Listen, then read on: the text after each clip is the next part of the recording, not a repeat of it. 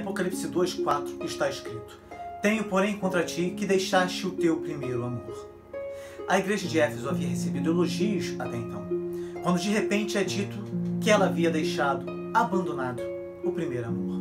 E ao dizer isso, o Senhor Jesus não estava dizendo que este era apenas um detalhe, visto que havia tanta coisa a ser elogiada na igreja. Não.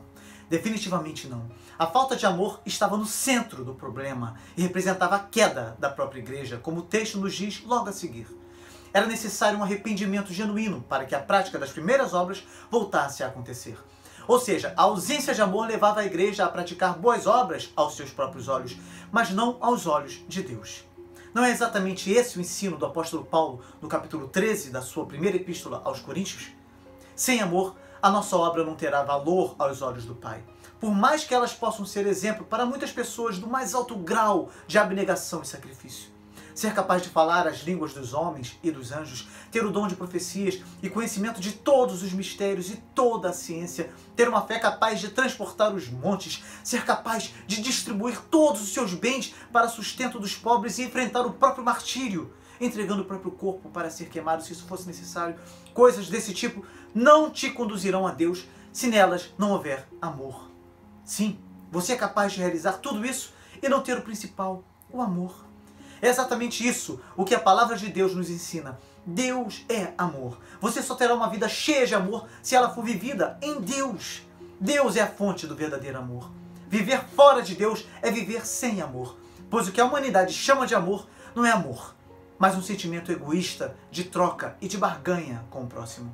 É duro, mas é verdade. É por isso que, para sermos capazes de amar, nós precisamos morrer primeiro, para que possamos então experimentar o que é nascer de novo.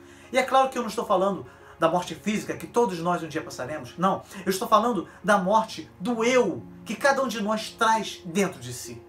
E normalmente esse eu é enorme. É por isso que o maior homem nascido de mulher, somente abaixo de Cristo, João Batista, deixou bastante claro que ele precisava diminuir e Cristo crescer. Se isso não acontecer, por mais estranho que possa parecer, nós poderemos ser até firmes doutrinariamente, poderemos ter uma conduta irrepreensível diante dos homens, poderemos estar envolvidos na obra do Senhor, trabalhando muito até ficarmos exaustos. Porém, diante de Deus, seremos apenas como os instrumentos que soam semelhante ao latão, que muitos usam nas cerimônias de adoração a deuses pagãos, ou ainda como símbolo que retine. Esse símbolo era feito de duas peças de bronze, ocas, que, sendo atingidas por um bastão de ferro ou madeira, faziam tilintar, mas na verdade um som muito fraco.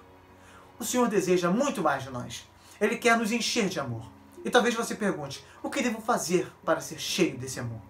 Se você já teve esse primeiro amor, mas o abandonou, você precisa fazer três coisas. É isso o que o texto nos diz no versículo 5. Lembra-te, pois, de onde caíste, e arrepende-te, e pratica as primeiras obras. Simples assim. Você precisa se lembrar, se arrepender e praticar as primeiras obras. O Senhor vai te conduzir em todo esse processo. Agora, se você nunca experimentou esse primeiro amor que eu estou falando, eu te convido a orar comigo agora. Repita cada palavra com toda a força e sinceridade do seu coração. E o Deus de amor encherá o teu coração de amor.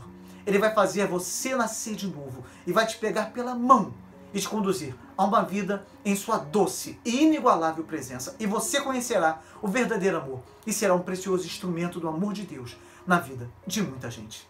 Olhe comigo.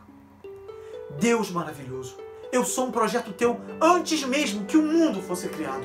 O Senhor me amou antes de todos os séculos, mesmo sabendo de todas as coisas e tendo ciência de que eu o abandonaria e passaria a viver a vida segundo os meus próprios caminhos. Eu escolhi desobedecer a ti, pois o pecado que trago em mim é fruto da herança que recebi dos meus primeiros pais, que pecando trouxeram a morte a toda a sua descendência. Mas o Senhor continuou me amando, e para pagar a dívida que eu tinha contigo, por causa do pecado que em mim habita, enviou alguém que jamais pecou e que desta forma poderia pagar inteiramente a dívida que eu tenho contigo. Jesus morreu para que eu pudesse ter a vida eterna. Hoje eu entendo isso e confesso os meus pecados e desejo que Jesus Cristo seja o meu Senhor e Salvador.